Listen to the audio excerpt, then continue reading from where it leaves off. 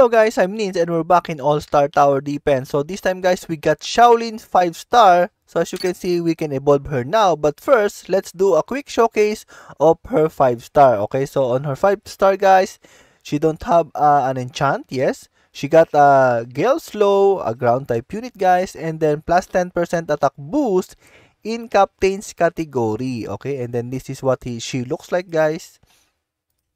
Yes, look at that. Okay guys, let's go and showcase Shaolin.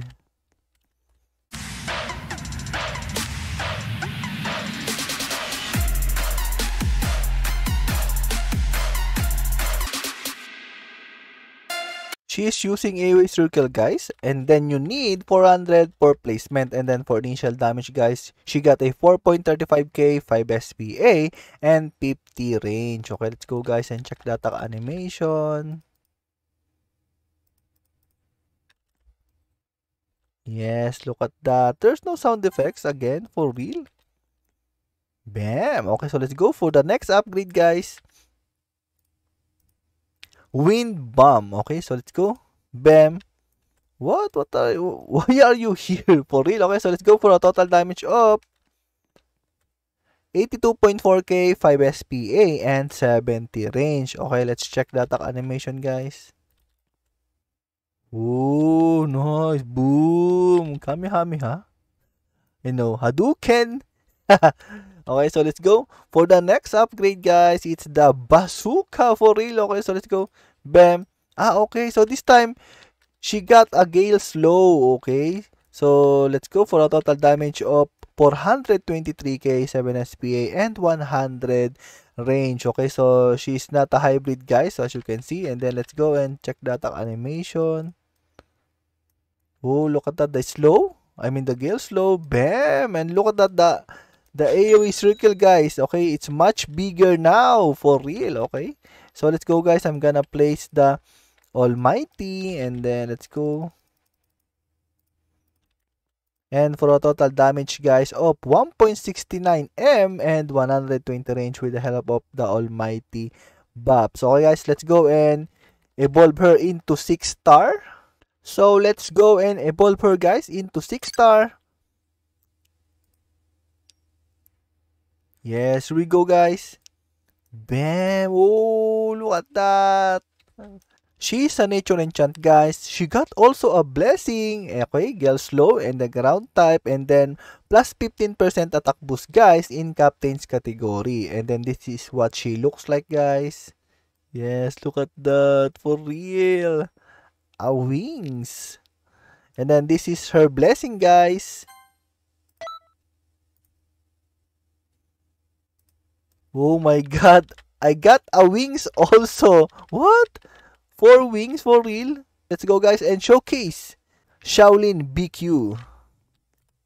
She's a full AoE guys and then you need 500 for placement. And look at that guys. She got a Gale Slow already, okay, from placement. And then let's go guys for initial damage. She got a 12k, 6 SPA, and 40 range. Okay, let's go and check the attack animation. Ooh, nice. Okay. Nice one guys. Okay, so let's go for the next upgrade guys. Wind Guts. Okay, so let's go. Bam. I knew it. So this time guys, she changed into AoE cone. Look at that. That is a cone one. So, a little bit narrow. So, let's go and check that. Ah, sorry. For a total damage, guys, of 45.9k, 2 SPA, and 70 range. Wow, the, the SPA is quite good. So, let's go. Boom! Look at that. That animation, guys. 2 SPA. Okay, so let's go for the next upgrade. Wind Strike Assault. Oh my god. So, let's go. Bam. Okay, so she changed again, guys, into AoE Circle. Eh? Okay, so for a total damage, guys, of 1.03M and 12 SPA and 100 range. Okay, so let's go and check attack animation. Ooh, nice one. Let's go, guys. For the next upgrade, guys, hybrid. Okay, so in this upgrade, guys, she became a hybrid. So, 24k, bam.